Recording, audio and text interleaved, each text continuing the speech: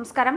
കേന്ദ്രം പാസാക്കിയ പൗരത്വ ഭേദഗതി നിയമത്തിനെതിരെ വ്യാപകമായ കുപ്രചാരണങ്ങളും ഭീതിയുമാണ് ഇന്ത്യയിലെ മുസ്ലിം സമുദായത്തിൽ പൊതുവെ ഇപ്പോൾ നിലനിന്നുകൊണ്ടിരിക്കുന്നത്.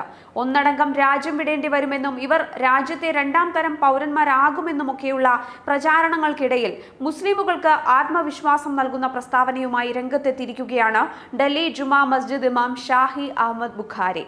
ഇന്ത്യൻ മുസ്ലിമുകളുടെ ആത്മീയ നേതൃത്വത്തിൽ ഗണ്യമായ പങ്കുവഹിക്കുന്ന ഷാഹി ഇമാം പറയുന്നത് പൗരത്വ ഭേദഗതി നിയമത്തിന് ഇന്ത്യയിലെ മുസ്ലിമുകളെ ഒന്നും ചെയ്യാൻ സാധിക്കില്ലെന്നും നിയമത്തിന് ഇന്ത്യൻ മുസ്ലിമുകളുമായി യാതൊരു ബന്ധവും ഇല്ല എന്നുമാണ്.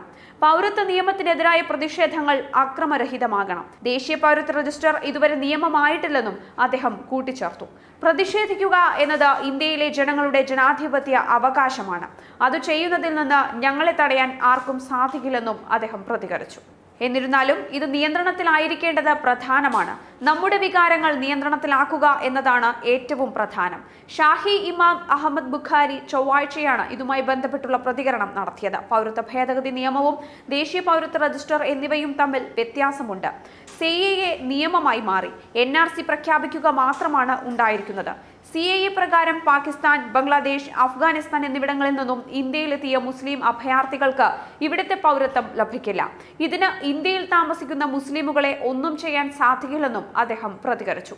കഴിഞ്ഞ ദിവസങ്ങളിൽ ജാമിയ മിലിയ സർവകലാശാലയിലെ വിദ്യാർത്ഥികൾ വലിയ അക്രമങ്ങൾ പ്രതിഷേധത്തിന്റെ ഭാഗമായി നടത്തിയിരുന്നു. തുടർന്ന് ഡൽഹിയിലെ വിവിധ ഭാഗങ്ങളിലും അക്രമ സംഭവങ്ങൾ അരങ്ങേറിയതാണ്.